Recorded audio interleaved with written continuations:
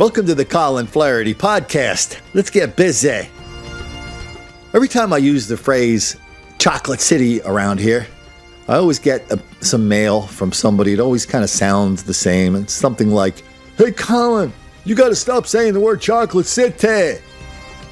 Because I just gave your video to my sister in law and she was listening. I finally got her to watch it. It took me a year and uh, she watched it for one minute, but as soon as you said chocolate city, she slammed my computer shut and started calling me names and said, You're a bad person. Come on, Colin. We got to reach more people. Don't use the word chocolate city. Well, we have a lot of catchphrases around here, but what we tr- do try to do here is we try to talk plainly, we try to tell the truth, and we do it without racism, without rancor, without apologies. So you notice when we do these videos, we're not going around going, "Hey, I'm sure that uh, you know, all these people are nice except for the few who ruin it for everybody." No, we're talking about 3 to 400,000 black people that we're going to talk about in a minute where they go to raise holy hell every year. And one of the one of the catchphrases we attach to that is we say crime is the new black entitlement. And lots of people will say, "Hey Colin, you're just exaggerating to make a point. No, we're not exaggerating. Crime is the new black entitlement. And we saw that this week in Myrtle Beach, South Carolina, where the NAACP is suing the city of Myrtle Beach because they say the police are being really, really mean and uncooperative with all the fellas who go to Myrtle Beach, and the cops are not cooperating when the fellas decide they're going to turn that town upside down with violence, mayhem, chaos, and worse. So, why don't we just run a couple of stories that I've done uh, over the years on the Black Bike Week in Myrtle Beach? Oh, by the way, uh, the, only reporters and basically white public officials call it uh, Atlantic Beach Bike Fest. Everybody else with their bikes, everybody else in town knows what it is. They know it's Black Bike Week in Myrtle Beach. It's a thing. It's not an organized thing. It's not like they're, you know, it's not like, uh, you know, there's they're having a convention and you go to the city officials and they say, yeah, yeah, yeah, come on down. We'll we'll cooperate. We'll help you get the convention center. We'll give you some cool banners. We'll advertise it. No, it's just a very loose conglomeration of people going, hey, what are you up to this weekend? Going to going to Myrtle Beach. Going to Myrtle Beach for Black Bike Week. And when they go there, all hell breaks loose. That's right. I'm live on Ocean Boulevard where five people were shot and three were pronounced dead last night. Now, Ocean Boulevard was shut down earlier for investigation, but they have since reopened at 5:30 a.m. Now, one of those shootings happened right behind me here at the Bermuda Sands Hotel. Now, earlier while you were sleeping, we got reports of multiple shootings.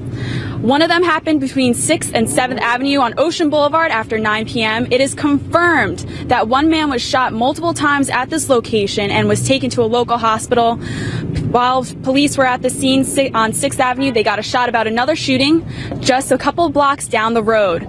Now, Captain David Knipes confirmed a couple hours later there was a shooting at Bermuda Sands Hotel on First Avenue, which is where I am live right now. And from what we know, three victims were found shot to death at this hotel, and another victim was taken to a local hospital, and it is not confirmed what hospital he was taken to yet. You know, you always try to prepare for the unexpected. You know, we've had shooting incidents before. Uh, we certainly don't like to see any any type of incidents where, where somebody dies during this event or, or any event that, Myrtle Beach has. Uh, have three people in one night is, is kind of a big thing. We only had two homicides for a total last year.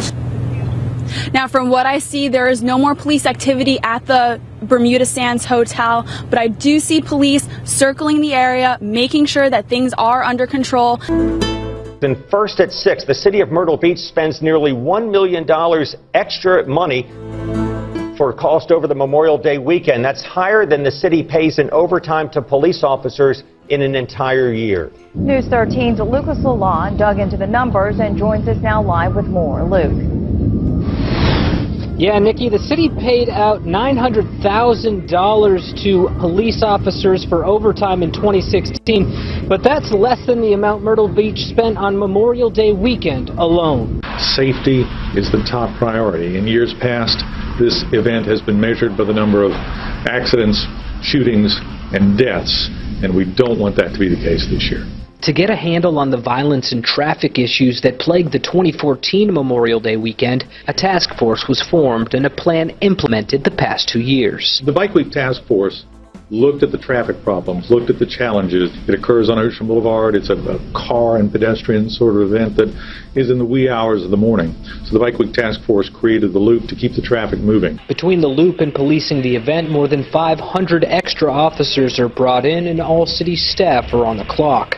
Memorial Day weekend cost the city nearly a million dollars in 2016, up nearly $100,000 from 2015. They were higher than I expected them to be. And that's after subtracting the cost of traffic barriers, cameras, and other pieces of equipment that are used at other special events throughout the year. We spend a tremendous amount of money for, for making sure that this event is safe and that everybody else who's here in town is safe. Myrtle Beach spokesperson Mark Crewis says the city loses money over Memorial Day weekend. It is an expensive proposition. The city won't, won't begin to recover that. Additional operations include paying for local and outside police and security, professional fees, a per diem for officers, and about $94,000 in miscellaneous costs. We, we won't recover that money, no. And it's a price the city will continue to pay for the foreseeable future. We have to handle the traffic it is a, a, happening, so it's not really organized. We need to provide some organization to it.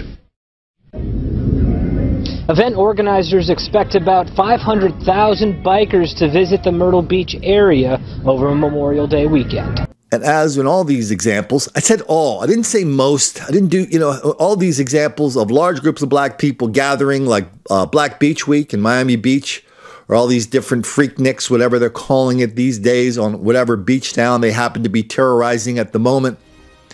One thing you always, always, always see is litter. Mountains and mountains of litter.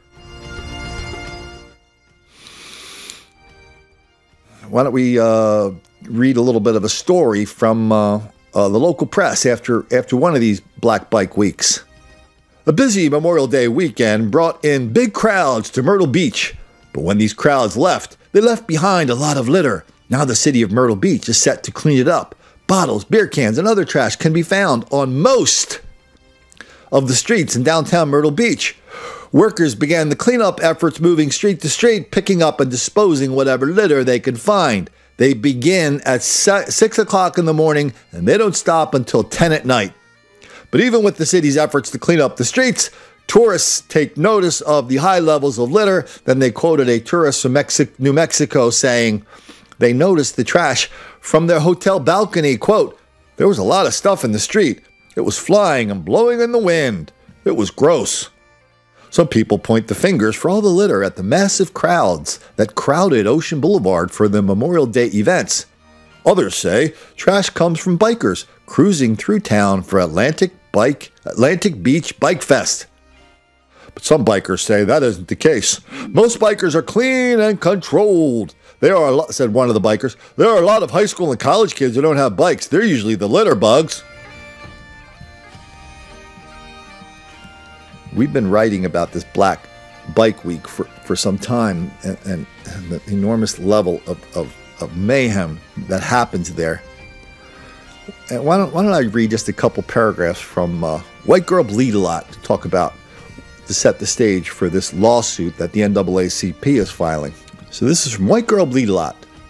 In 2011, the otherwise quiet town of Myrtle Beach had, quote, five armed robberies, a stabbing, a shooting, and an incident involving a shotgun being pointed at a security guard during a nearly eight hour period early Sunday and Monday over Memorial Day weekend. That's the violence, but there's more. More trash on the streets than anyone has seen before, all courtesy of the 300,000 folks who attend the largest gathering of black bikers in the world. Black Biker Week has a long and violent history in Myrtle Beach, which now includes denying anything unusual ever happens in their town during Memorial Day weekend. Myrtle Beach is a family beach town surrounded by 123 golf courses. For 51 weeks a year, Myrtle Beach is an upscale, genteel, and safe place. Then comes Memorial Day. Originally called the Atlantic Beach Memorial Day Bike Fest, Black Biker Week began in 1980 and was held, at, held just at Atlantic Beach with about 100 people. Black Bike, Black Bike Week got so violent and abusive from 2000 to 2005 that businesses boarded up for the week. The high crime and hyperviolence associated with the event led city officials to enact a series of laws effectively banning motorcycle rallies in their city. The NAACP cried racial discrimination and sued to reverse the law. They won. The businesses that closed during Black Biker Week were found to be guilty of racial discrimination. Many folks are absolutely surprised a business cannot close and open whenever it wants. Today, the NAACP has a hotline where people can phone in complaints of racial discrimination against anyone who has a problem with Black Bike Week or its participants. No word on if the NAACP has a hotline for the victims of the shootings and violence during the week. Local news media noted high levels of crime and litter during the week during the weekend of Memorial Day 2011 but they never mentioned anything about the world's largest gathering of black bikers that had the run of their town for the week. Maybe the local media was concerned about the NAACP. Maybe they did not want to be labeled as bad people. News One reported, quote, the NAACP will be looking at the way businesses and police treat African American motorcycle riders for Black Biker Week to monitor racial discrimination. Maybe they will monitor the news media too. Isn't it strange that 300,000 black black bikers can come to a small town and not one local media mentions the group or its men- members even once? Good or bad, isn't that a story? Part of a story? Done a, we've done a ton of stuff on Black Bike Week. Lots of videos, lots of stories. and, and, but but the NAACP they're just determined to come in and remind everybody that um, that crime is the new black entitlement, and they're going to file a lawsuit to protect the right of black people to go in and tear the hell out of Myrtle Beach. We're going to hear something. We're going to hear from the NAACP in a minute. Let me just run through another article or two here. Here's a story from uh, here's a story from the Christian Science Monitor. A couple years ago, they had I don't know they had a shooting where when I think the the butcher's the butcher's bill at the end of the weekend was three dead, five more shot, lots of mayhem, lots of violence, lots of bad business. The Christian Science Monitor wanted to know is were the Myrtle Beach shootings tied to a motorcycle rally? Hmm. Six shootings across Myrtle Beach, South Carolina this weekend left three people dead, breaking the beachside resort city total homicide count for 2013. Uh, then they just go through uh, where, where, the shootings happened, what it was like, and um, the, and they talk about how the Myrtle Beach City Council voted to end bike rallies after years of complaints about noise and crime. They passed a helmet law designed to discourage bikers, but the South Carolina Supreme Court overturned the helmet law. Quote, they bring three weeks of noise, congestion, reckless driving, crime, nudity, lewdness, rudeness, litter, wrecks, fatalities. They are overwhelming our capacity to deal with them. This is from a city spokesman.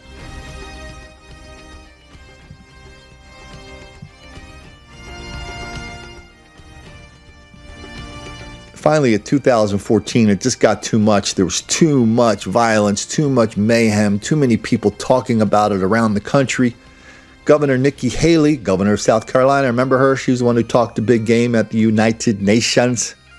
Governor Nikki Haley says Atlantic Bike Beach Fest must end.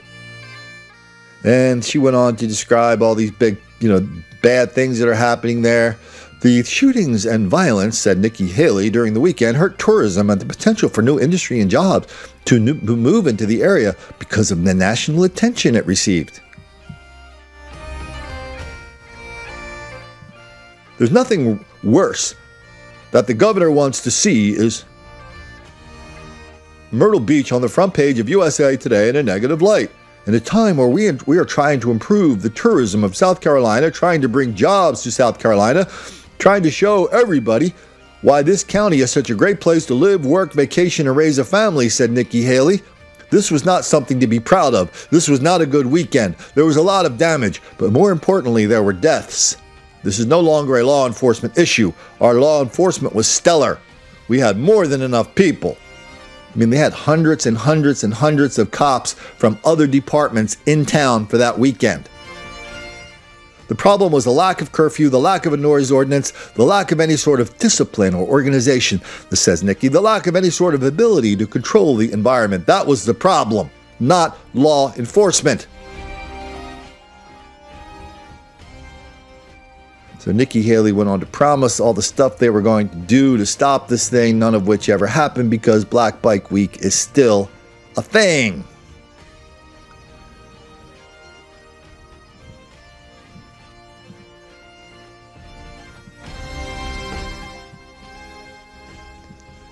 But what they did do is they set up some traffic impediments basically so when you know eight, eight gajillion motorcycles rolled through Myrtle Beach, they get caught in this like traffic calming zone, this loop where everybody has to go real slow. Something bikers hate to do. So they're limited on how. I mean, they're limited on the ways to shut it down, this event down, because this event doesn't really exist except independently in the minds of 300,000 people who descend on there, on, on Myrtle Beach. And the, but the NAACP doesn't like that. Now, the one thing I like about this NAACP lawsuit is because all during the Black Beach Week coverage, nobody wants to use the word black people. Nikki Haley, it's not else. We're going to call it Atlantic Beach Bike Fest. Uh, Governor, did you notice that everybody that the Bike Fest was black? Oh no, Colin, I didn't really notice that. There must have been a lot of white people there too, because white people do it too. I mean, that's the level of denial, deceit, and delusion she's operating on. Everybody there is operating on. Everybody down there is scared to death that people will think this beautiful Gulf capital of America is all of a sudden a site for regular, frequent, and predictable levels of black mob violence and black on white crime. We got a hotel owner down there in Myrtle Beach that's a big viewer of these videos and my books and everything. He kind of keeps me posted down there. When the the original when I read that article from a couple years ago, even then, Myrtle Beach was going from a place that was just kind of out of control one or two weeks a year. Now they're saying the crime is basically year round. There's lots of black on white crime. There's lots of black crime wildly out of proportion in Myrtle Beach. The city officials are trying to figure out how it began. They don't have any idea how it's going to end. But why don't we hear from um, the gang at the NAACP and their lawsuit because they filed a lawsuit this week to get the city to stop enforcing these laws that is meant to discourage uh, all these uh, black people from ruining their town and their motorcycles. Here's the headline. This is from February the 14th, 2019. Uh, let me see. There's a bunch of people on a on a on a courthouse. They're all holding up signs saying, I am the NAACP. There's, and people get in front of the microphones. Everybody takes turn describing what a racist hellhole Myrtle Beach is. Headline New plaintiffs added to NAACP's Black Bike Week discrimination lawsuit. Finally, somebody calling it what it is Black Bike Week. That's what it is, okay? I mean, during when there's all the mayhem and hell going on, everybody wants to separate the hell from the central organizing feature of the people causing it. No, when the NAACP gets involved, when the National Association for the Advancement of Colored People gets involved, I mean, they have to tell the truth about what it is. That this is just a bunch of black people that come to town and they don't like the way they're being treated. Let's get let's see if we can get some details from them. Uh, let me see. From Myrtle Beach, South Carolina, they added a bunch of uh, plaintiffs to their lawsuit. And the original lawsuit filed last year alleges policies implemented by the city discriminate against the African American attendees. Uh, the, poli- the, the policies included implementing highly restrictive traffic plan and heightened law enforcement present now, here's the interesting part, too. The NAACP argues that the same policies are not in place during Harley Week, where the majority of attendees are white. We're going to talk about that more in a minute. Harley Week is the same thing, except a couple weeks before. A couple hundred thousand white people go to Myrtle Beach. Okay, spoiler alert. Nothing happens during Harley Week. Nothing. No shootings, no muggings, no people running out of restaurants, nobody trashing restaurants, nobody defying police. That is it. Nada. Zilch.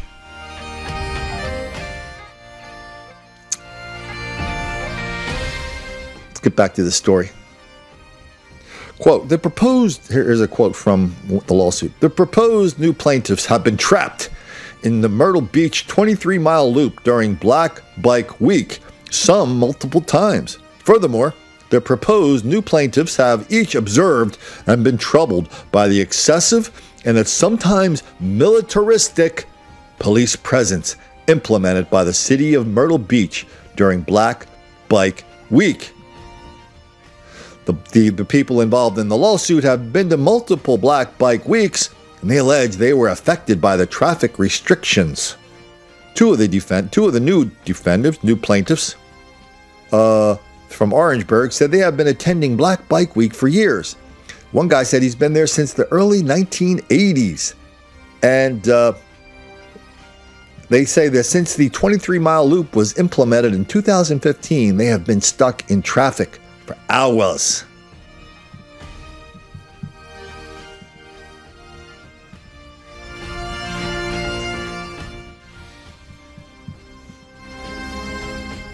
Quote, because the experience of being trapped in the loop is so uncomfortable, they remained indoors.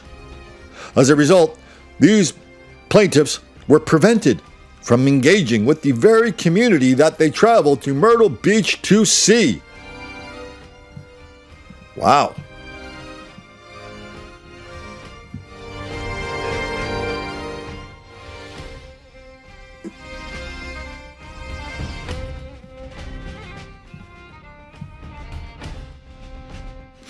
Why don't we run a video that I did on this um, a couple years ago when they first brought this lawsuit, when they were on the uh, back end of another lawsuit they brought. Our main goal within the NACP is to make sure that there's, there's equality from every standpoint uh, when it comes down to service, uh, motel, hotel, uh, convenience stores, and so forth. And so we, we're looking to make sure that we monitor uh, and see that these, these businesses cooperate in that aspect. We've seen this with our own eyes. We've seen businesses close their doors and refuse to serve African Americans.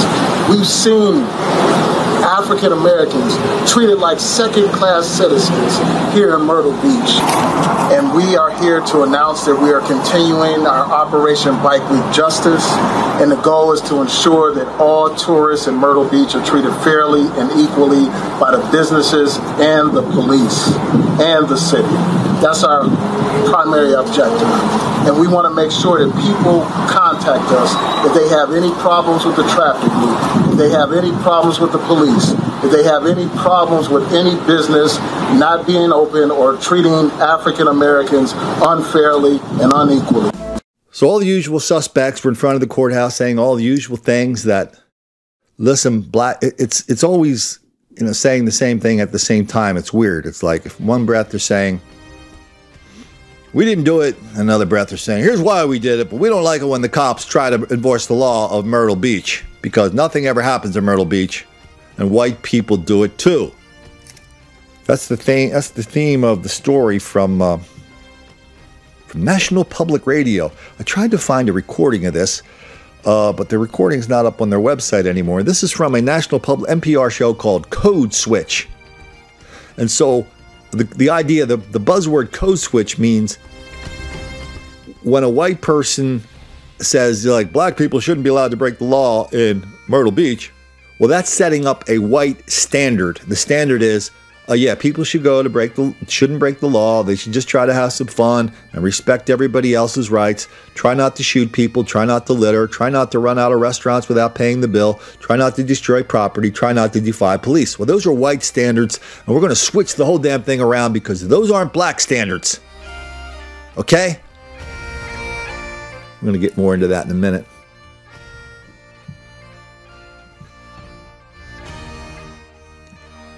This is this is an amazing, amazing uh, uh, script flip here. Let's let's just get into a little bit of it. This is from this is again from Code Switch and NPR.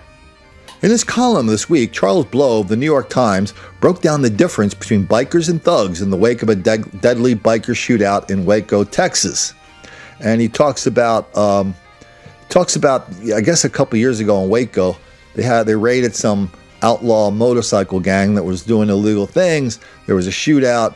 Apparently, some of them got killed. The white guys.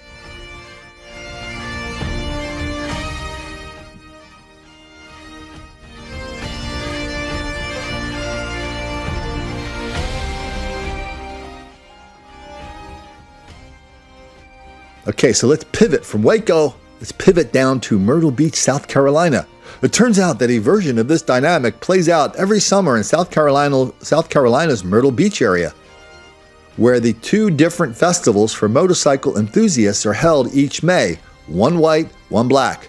Beginning of May are the white guys, end of May are the fellas and their lovely ladies.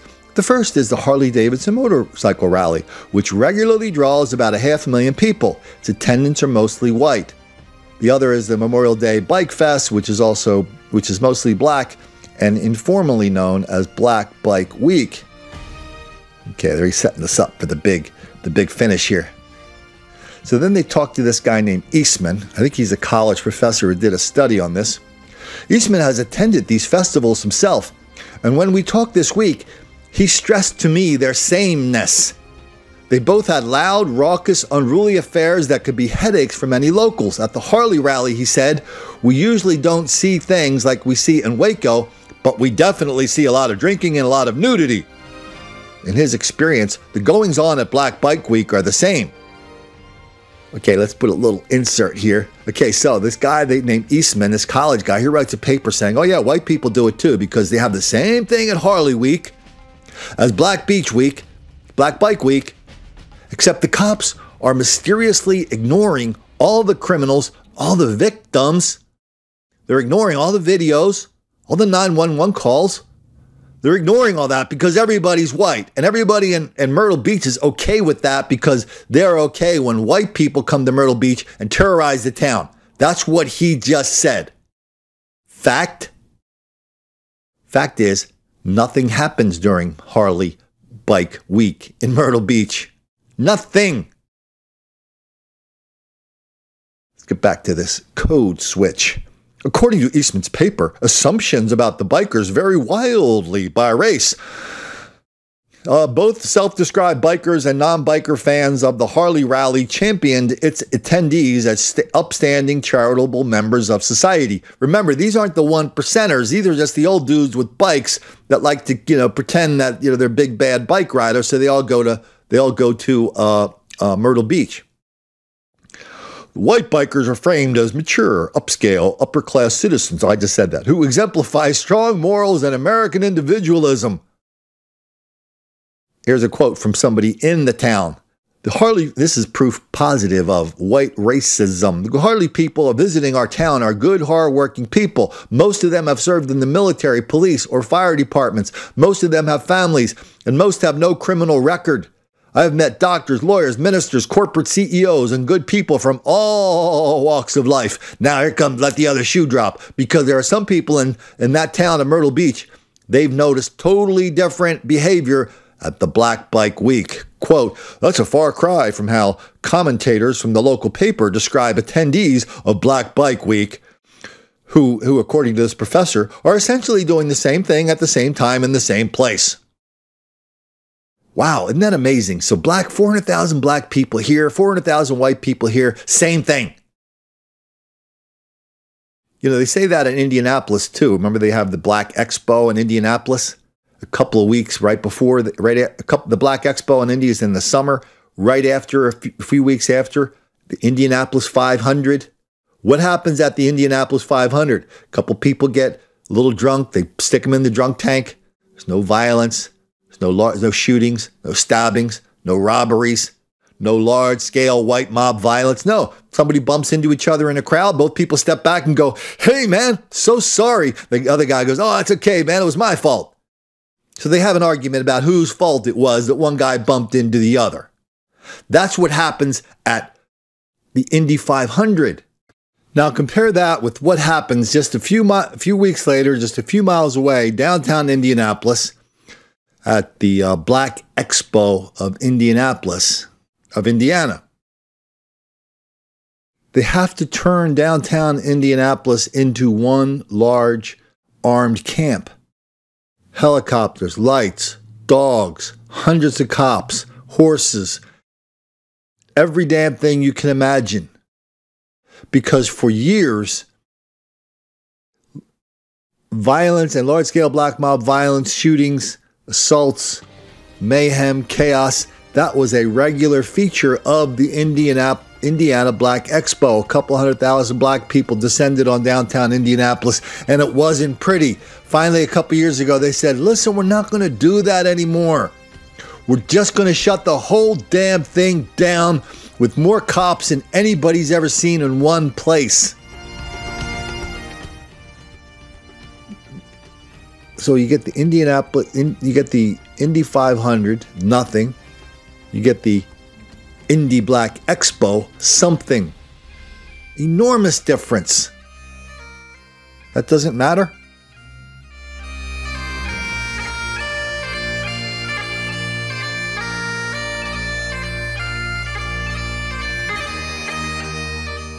Now this clown is saying, oh yeah, the two bike weeks are identical, Colin. Wow, wouldn't that be amazing if you put 400,000 white people and black people like in a place and it turned out they were essentially identical in their behavior? I mean, is there any place where we see that happening or or or are they really identical and everybody's in some conspiracy to make black people look bad and white people look good? Hmm. Okay, let's get back to this Eastman guy. He's okay, same people doing the same thing. A typical, but he, this guy, he's exposing the whole, he's going to rip the lid off the whole thing here because he sees the posts. A typical post calls the people who go to Black Bike Week predominantly thugs, thieves, and low life criminals. A lot use words like trash, filth, sleaze, which almost never come up in comments on white bikers. Let's talk about, let's let Eastman talk for a bit. Unlike the Harley rally, where amoral deviance is blamed on a few isolated white bikers, posters attribute criminality to most, if not all, Bike Fest participants. And, and unlike white bikers, whom posters perceive as capable of policing themselves, there are widespread calls of further and more stringent law enforcement during Black Bike Week.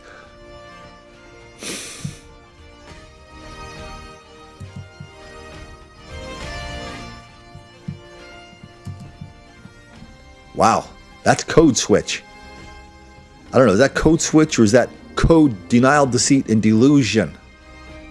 There is absolutely nobody who lives in that town that says these two events are equivalent. White people do it too, Colin.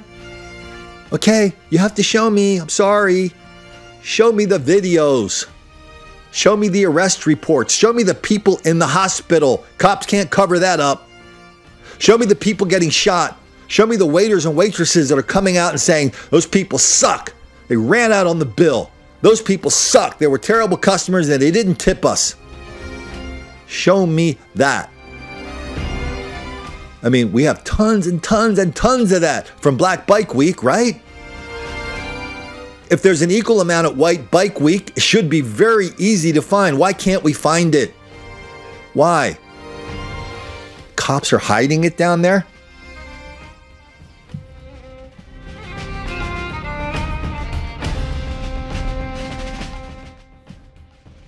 Says Eastman. In other words, the black bikers are painted as deviants while white bikers were painted as productive, hardworking people, deservedly letting off some steam for a few days. And if the bike, if, oh, now we get into the hypothetical, right? How, why you go hypothetical? Don't you have any reality to deal with? And if the white bikers did happen to break any rules during their rev- revelry, well, those rules were dumb anyway. An aura of what this professor calls, quote, white innocence, quote, protects the white bikers' reputations it shields them from criminal justice system and lines up neatly with our ideas about whiteness in general. Wow. So we get white innocence cast some white glow around the people of uh, people that go to Myrtle Beach for the for the Harley bike rally and it protects them from the cops. It protects them from the videos. It protects them from 911 calls, which are public record. It protects them from all the people with smartphones. The only thing it doesn't protect them from are the hypothetical ramblings, the denial, deceit, and delusional musings of college professors who want to say the black white people are doing it too. And that's the only justification for the for the living hell that's in Myrtle Beach during Black Bike Week. White people do it too, Colin.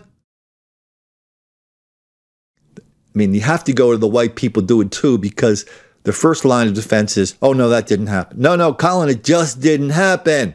Too many videos, too many victims, too many 911 calls, too many witnesses, too many police reports, too many people in the hospital, too many people in the morgue, too many people leaving town in Myrtle Beach who can't take it when the Black Bike Week is there.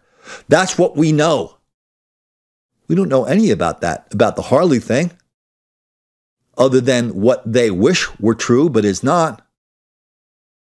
But then Code Switch tops it off by pulling the switch back to Waco. They go back to Waco and they go, listen, this is how white bikers behave. And they go out to this motorcycle gang in Waco. I don't know what they were doing, but these these outlaw gangs, they're kind of known for uh, you know making methamphetamine and Sons of Anarchy and all that stuff. And so you go, yeah, well, look at those white bikers, how they behaved in Waco. That's proof that the white bikers in, in Myrtle Beach were, you know, a bunch of degenerates and nobody's calling on them, calling them on it because of white innocence. Really? Wow. Then then they just go on and on to this long uh, this article, this this this NPR podcast, Code Switch, just goes on and on about the devils in white motorcycle gangs, none of which were sh- none of which were in attendance at Harley Week. The people in that lifestyle, with the clubs and the drugs and the violence, the out the white outlaw motorcycle gangs, the last place they want to be is with a bunch of squares who have jobs and who they mock them as pretenders. They mock them as wannabes. They don't feel like they're part of the same universe. You know, I used to drive a motorcycle. I've driven a motorcycle cross country.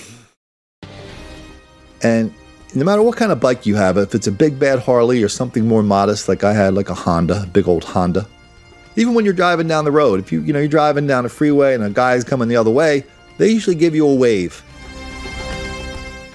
Hell's Angels and these other drug gangs aren't waving at people like you and me on a Honda 750. No. And they're not, incur- not inviting us over to have a beer at their biker bar. But that's what the code switch wants to do, wants us to believe. Oh, yeah, the white people, they're in this secret conspiracy to hide the criminal behavior of all the white bikers. Yeah. And it goes on and on and on about these white bikers, how we romance them, and how that's how this romance covers up all this white nastiness that happens in Myrtle Beach every week, every year. Why can't you see that, Colin?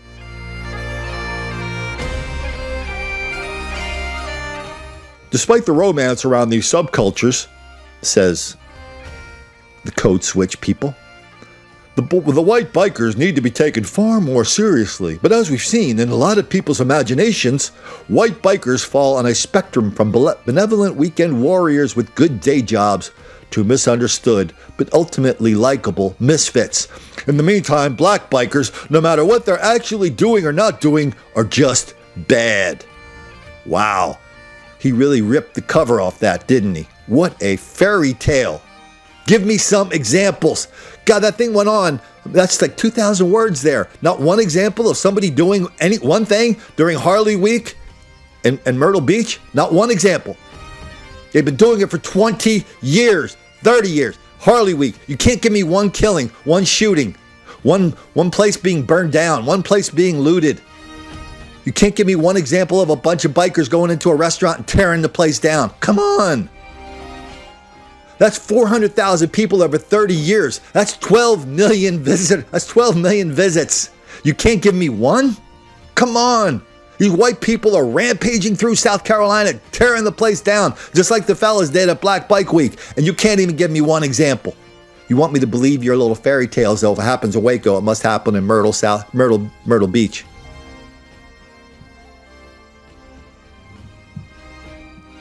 You know, I love these reporters who report this stuff because they are the clearest and most transparent view we have of this denial, deceit, and delusion. We get to compare their version of their fantasy with with the videos and the first person accounts of what really happened. And we see what the truth is.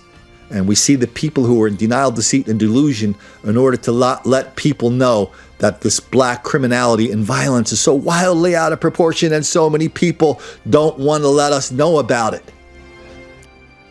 All right, let's take a breather and talk some business. On the other side of this, I want to get back into this whole different version of Black Biker Week that they do in Charlotte. We should just call it Black Basketball Week. Anyway, let's talk some business. I just want to just remind you we're always, you know, we have our little catchphrases around here. My favorite one is denial, deceit, and delusion. Well, just by a happy coincidence, you can get that on a coffee cup.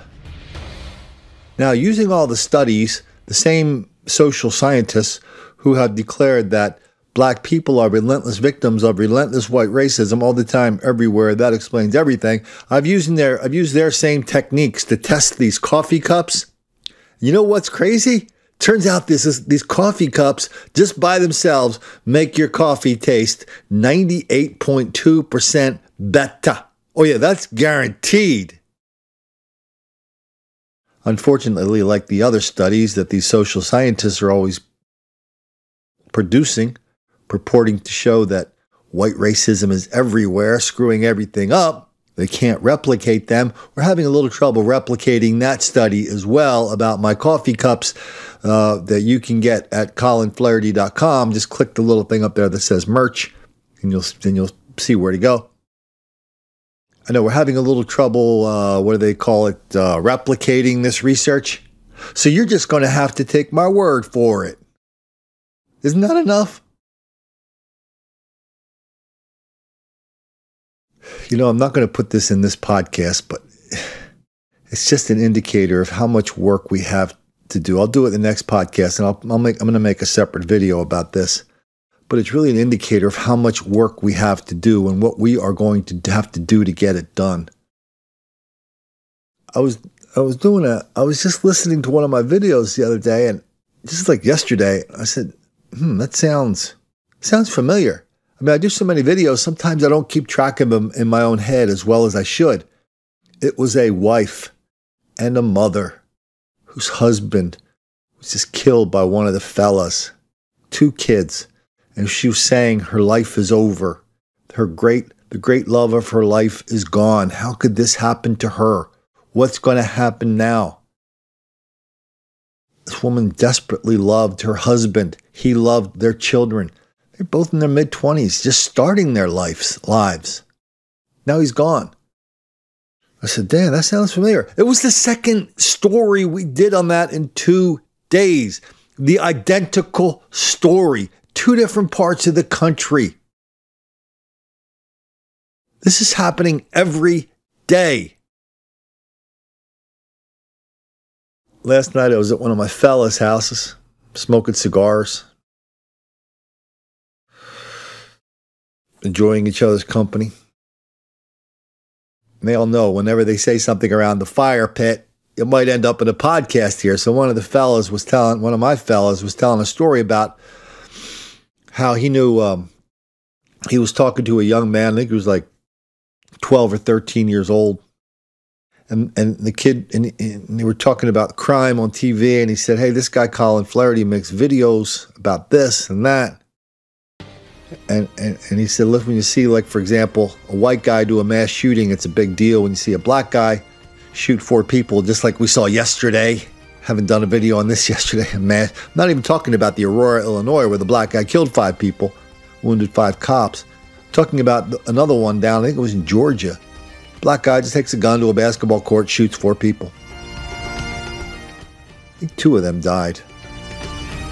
I mean, those are mass shootings, and and and the, the, the, one of my one of my guys said to this young man, "You notice there's a difference in coverage," and and the, the young man said, "Well, that's because that's because white people do it more often than black people. That's because white people are committing more crime than black people. That's why we see more coverage of it."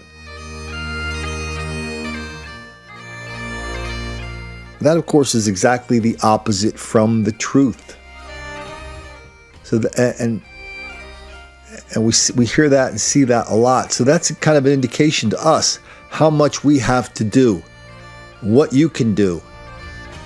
I mean, it's it's a whole gamut of things you can do. Why don't we start small?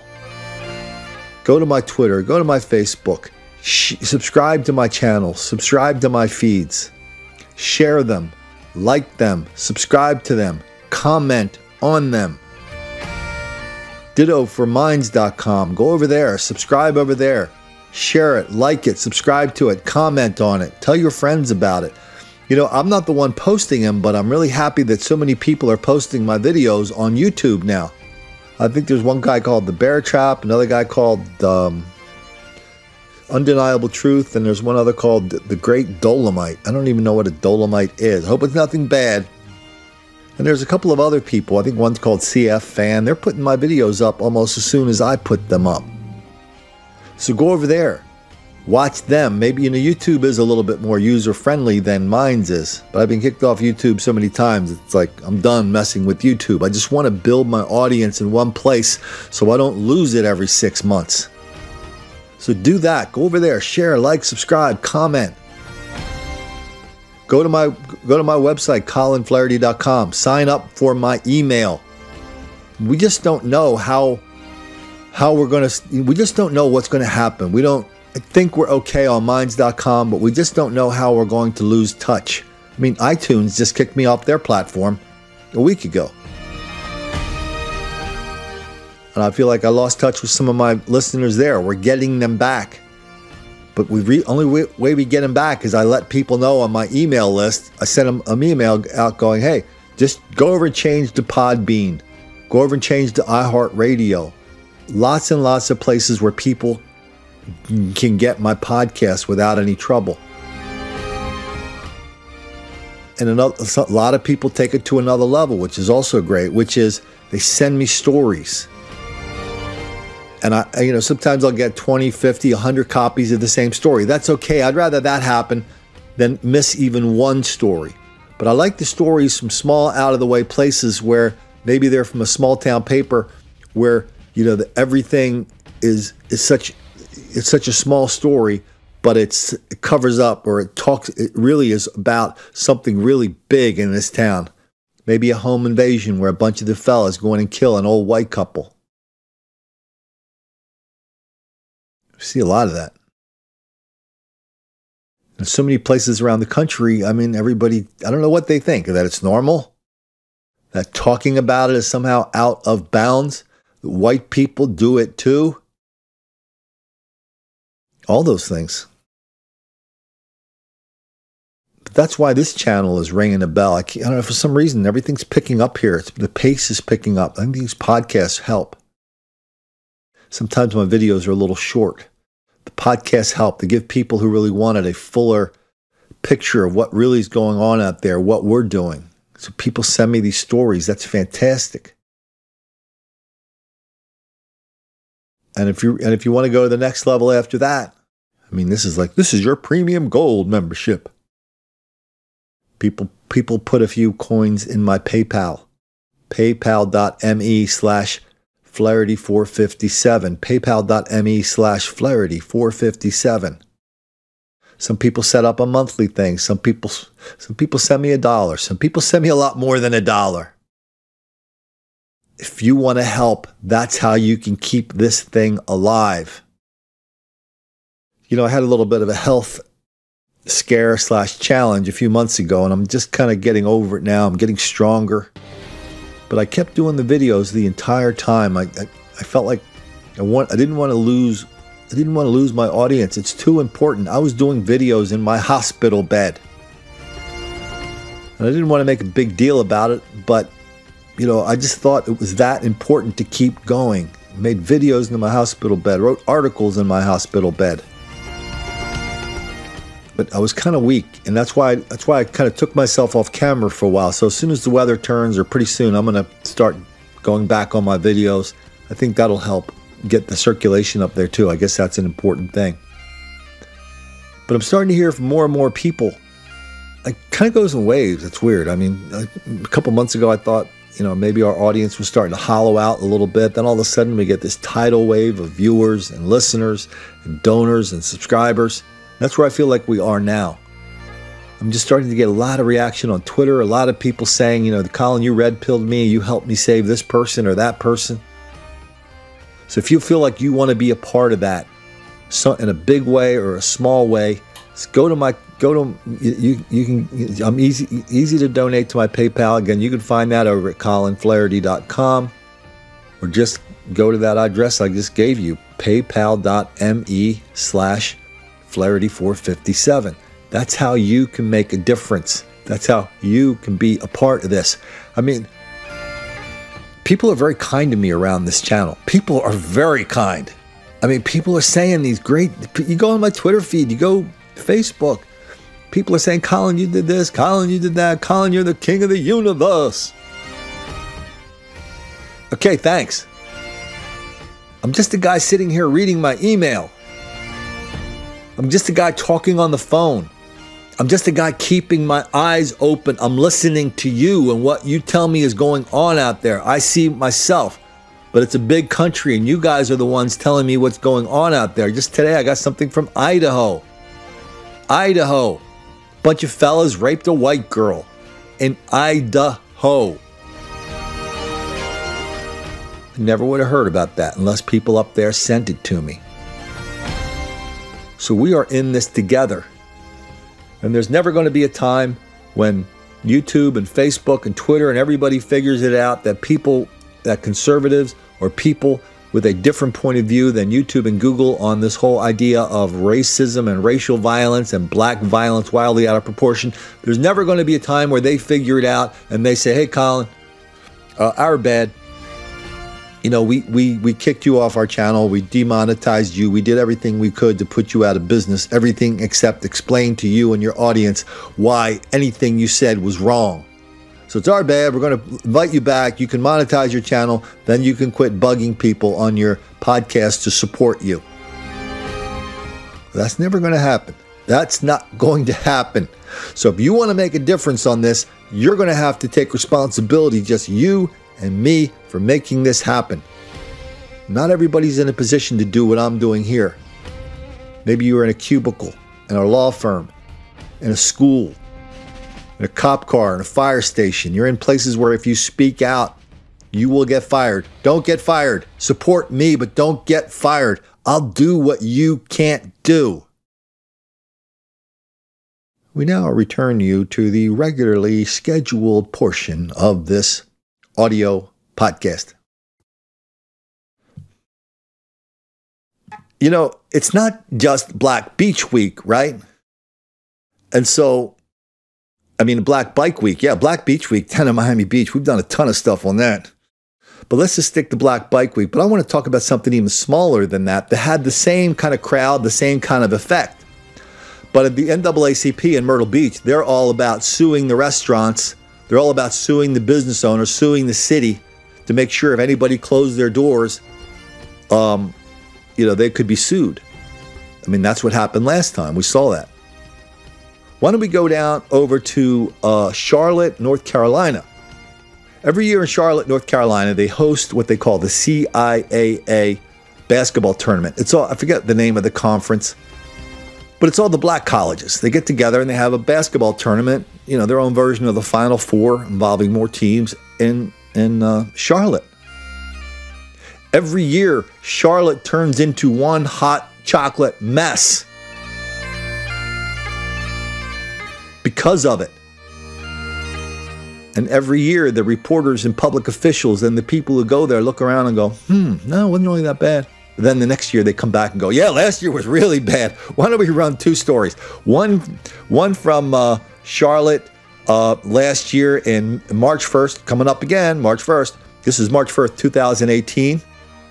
And then why don't we run a story that I did, um, a video that I did two years before that about what happens in Charlotte during this black basketball week. Police are still investigating an overnight shooting outside of an uptown nightclub that's been promoting CIAA after parties. Violence at these outside parties that are not tied to the CIAA have plagued the tournament in Charlotte for years. New at 10, reporter Stephanie Tinoco spoke to a member of the city's safety committee about what's being done to keep everybody safe as these events continue through the weekend. Stephanie? Well, Allison, the city has required anyone that is setting up a party, an after party, uh, to register with police. But people that are organizing events not affiliated with the CIAA tell me that they're just upping security just to be safe. Well, I'm very concerned about it. Fans are fed up with the violence erupting at local nightclubs during unsanctioned CIAA parties. Yes, I think it brings a negative impact on the tournament, and it shouldn't be. Early this morning, a man was shot in the leg in the parking lot of Palace nightclub when a fight broke out between rappers at an after party not affiliated with the tournament. I mean, it was just unfortunate because being a small business owner, being a business owner for that matter, we're just wanting to provide a safe environment. This all comes just one year after someone fired 100 shots in Uptown during CIAA tournament weekend. Sources told us that incident was also a feud between rappers, and one of those rappers is returning to Charlotte for a performance at Cameo nightclub. It did not make us feel well at all knowing that someone will make a rap song that they fired up 100 shots in the city of Charlotte. City Councilman James Mitchell, who sits on the Community Safety Committee, told us the city has made it clear there is no room for violence. We communicated very in strong language to the club owner of Cameo and made sure he was going to be responsible and we want to make sure that no activities, negative activity will occur. Many, many times every year, we cover the mayhem, the violence, the, the, the robbery, the assaults, the killings at these large scale black events all over the country. I'm thinking of Black Beach Week down in Miami Beach over Memorial Day weekend. I'm thinking of Black Biker Week pretty much during the same time up in South Carolina.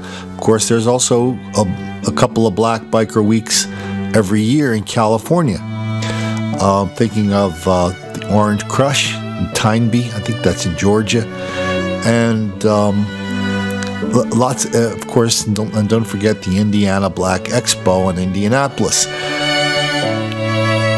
But one one event that kind of got away from us, I, we just uh, we just did a little bit on it over the years. We just kind of do a little bit when it happens.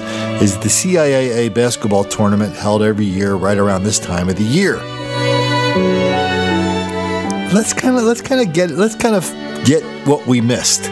Let's run these two stories, then we'll fill in a few blanks on the other side of of uh, a the violence, chaos, the mayhem, and how if you notice you're a bad person. Tanya, I just talked to detectives in this case. Caldwell Street is still shut down between 3rd and 4th. This is right next to the government center parking garage and the Sky condominiums. What they tell me, and I also spoke to someone who was sitting in one of those cars, the red SUV behind me, way back there, had its window shot out, and the Mercedes Sprinter van, it looks like a limo van, also was shot at. The bullets went all the way through the van and out the other side. And what detectives tell me is that they were both parked at the curb around 4 o'clock this morning when someone fired shots from this government center parking deck and down into the street. So we don't have a motive yet from detectives. They are still investigating that, but they said that there were three suspects who took off and were apprehended just up the road. So suspects are in custody. They did tell us that both the suspects and the victims are in town for the CIAA. But 16 is officially over. Uptown Charlotte had been rocking since Thursday with hundreds of thousands of people flooding into the Queen City.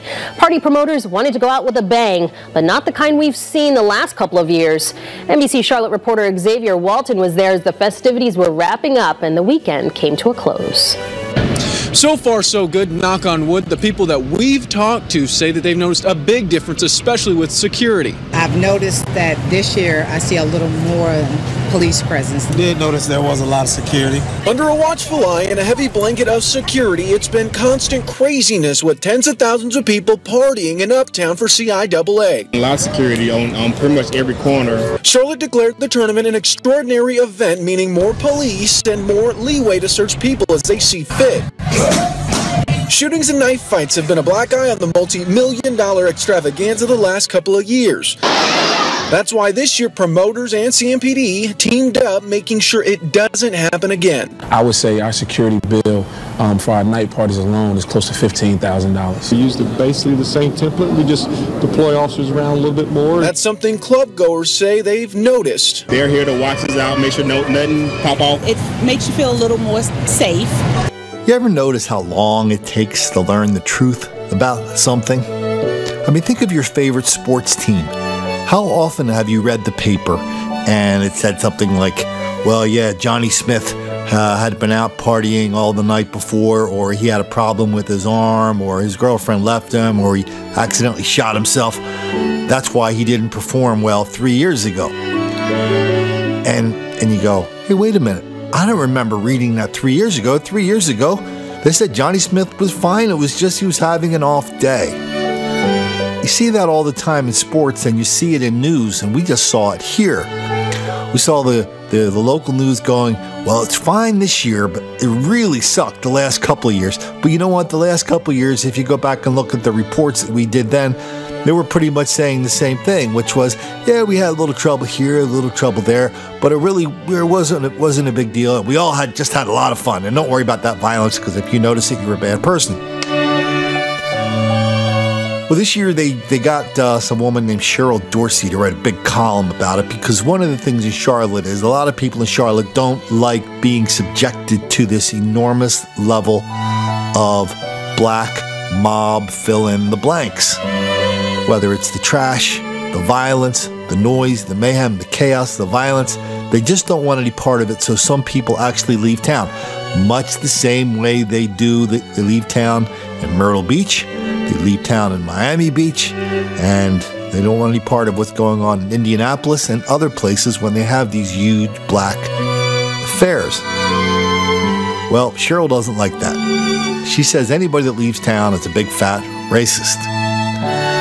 And um, but but here's what's here's what's interesting and why I bring up this story because it's a great example of of the defense against where people like me go, hey, I kind of noticed this violence, mayhem, and chaos is wildly out of proportion during this black event in Charlotte. What's up with that? And Cheryl has a great answer for it because she always says this. She says the same thing that everybody says. One, it's not happening. Two, here's why it's happening. Always in the same voice. Why don't we get to the here's why it's happening quote? Because uh, I, I thought it was pretty good. First of all, she says how how how much she really kind of loathes and resents her white friends for having all the microaggressions they're constantly throwing at her at dinner parties, and how she constantly has to explain to all those people what's up. But here's the quote because in reality, white people, not all, don't seek to look at the historic pathology of why black people have to create our own celebrations to celebrate our own damn selves. They see mass chaos instead of the relevance of modern day segregationist necessity for people that continuously have to prove our humanness and self worth and value to an entire world that devalues us every day for centuries.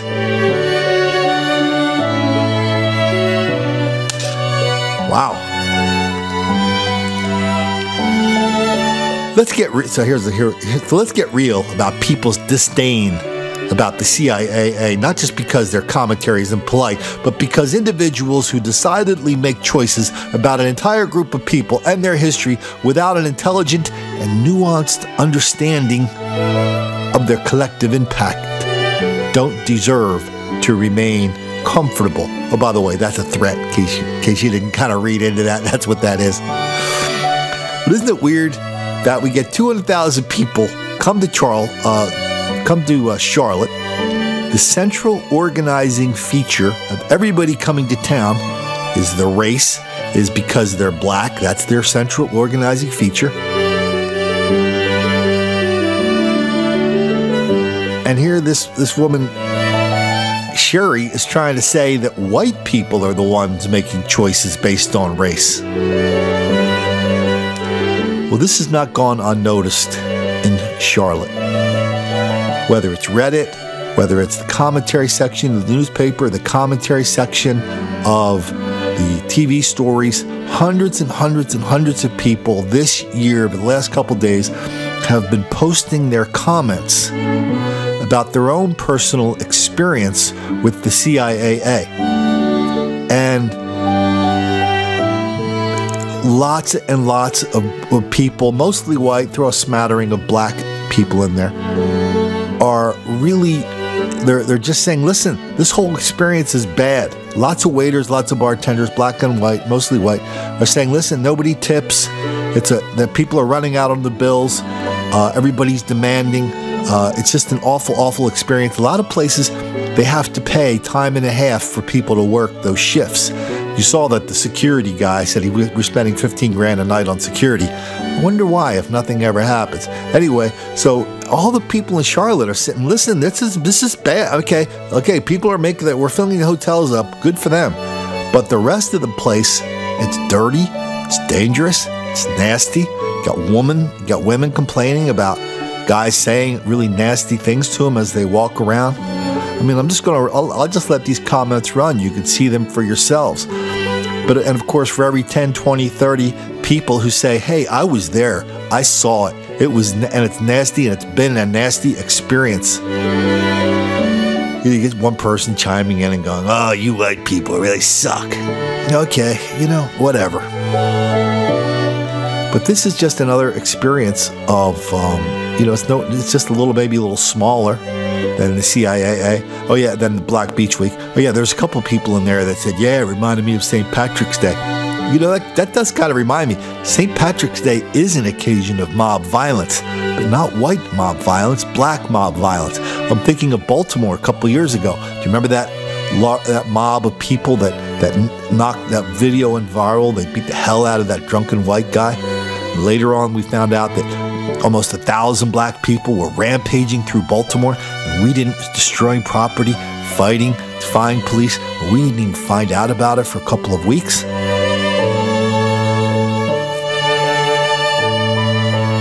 Drunken people on St. Patrick's Day are nothing but easy targets for black crime and violence. So that's the story on the CIAA. And, and, I guess the good news is that a lot of people are feeling like they can start to tell the truth about it.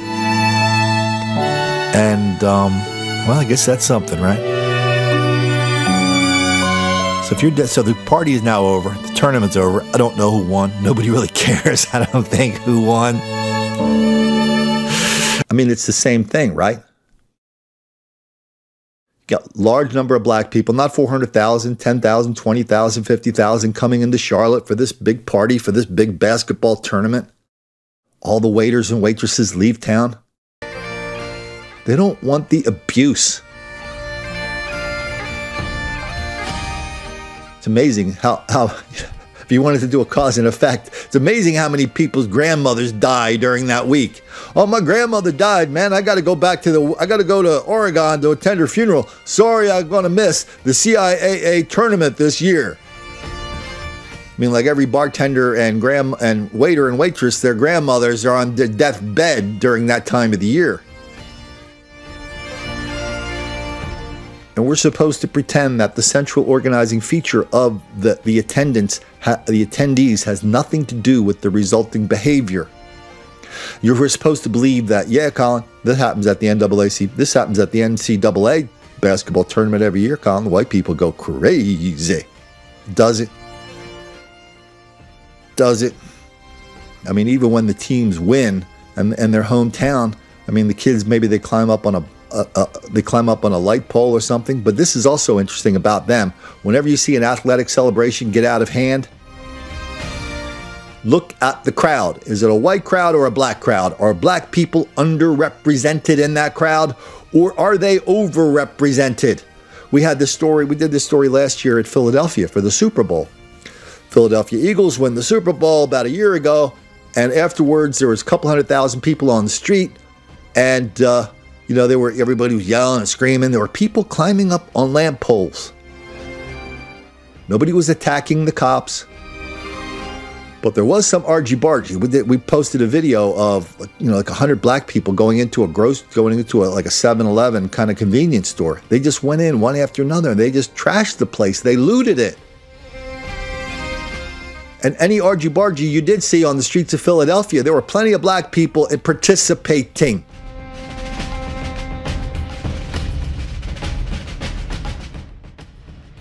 And so now the NAACP wants us to pretend none of this is happening. It's not happening, Colin. White people do it too, Colin. Why are you a bad person, Colin? Why are you calling them out? Why are you saying black crime is the new black entitlement? Why are you talking about chocolate cities, Colin?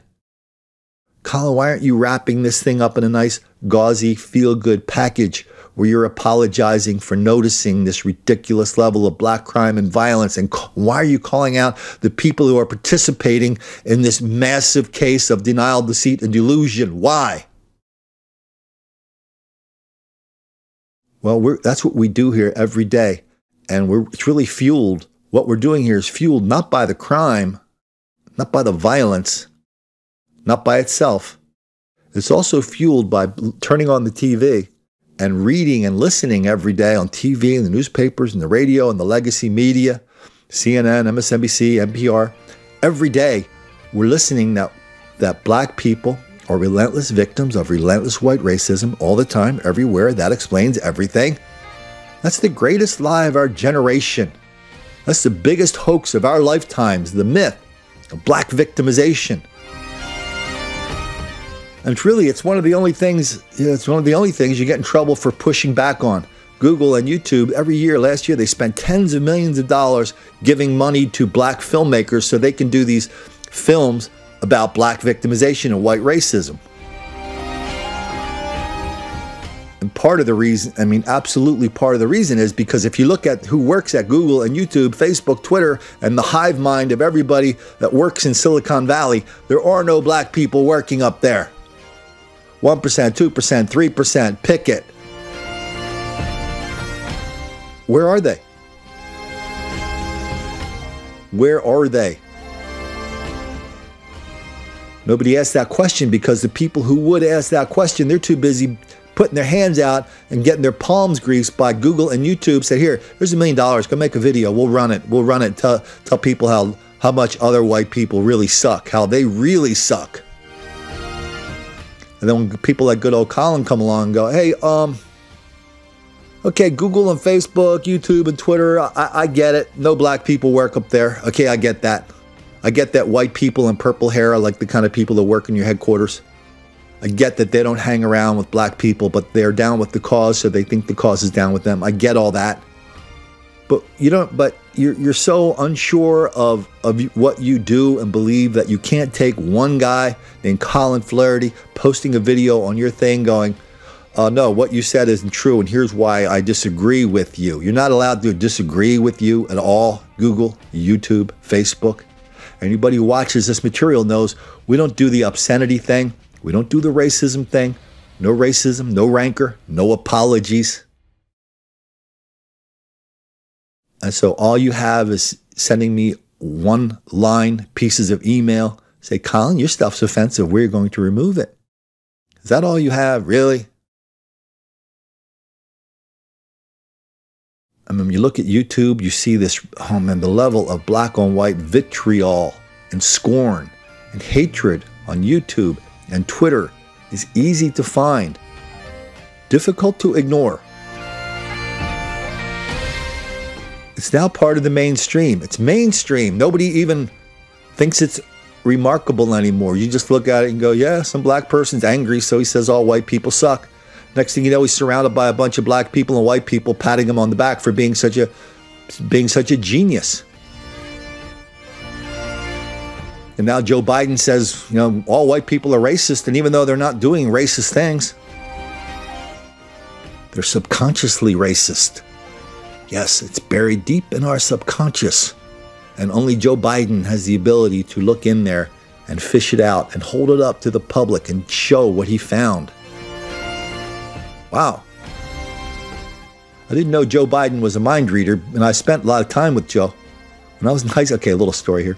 When I was in high school, I was the president of, this was 1972. So that was the year, uh, so I, I, was president of my little, uh, uh, this was actually 71. I was the president of my parish Catholic youth organization club, right? So we were raising money to take a trip to the beach. So what we do is we would after after mass, we would get like orange juice and coffee and donuts, and people after mass would come down and they would meet a local politician or somebody running for office. Biden came to like 10 of those. And so I'd be down there, you know, the, uh, but basically there were only people would come in. Like we had three or that was the days when people were going to, ma- you know, had three or four masses because that's how many people went to church. That church is now empty, sold, not there anymore. Anyway, so uh, so we were down there, and people would you know congregate for 20 minutes, and everybody would go home, leaving Biden and me by my, ourselves for like 30 to 45 minutes till the next mass ended. So I spent a lot of time with Biden. I remember I liked him. My brother worked for him for 20 years, and I knocked on doors with him. Everybody in Delaware has a story about Joe Biden is his best friend, just like the exact same story I told there. Everybody's got one of those stories, right? Everybody. But I just don't remember Joe Biden's ability to read my mind at the time. Maybe he had it. He was a 29 year old uh, uh, uh, elected official in Wilmington, and he's running for U.S. Senate. Nobody thought he was going to win. He won. He won in a landslide year for Republicans. He won. He beat a he beat an incumbent Republican. Maybe, you know what? Maybe he did have the mind reading thing going on back then. That's the only way I can explain it. He had it, I didn't know it.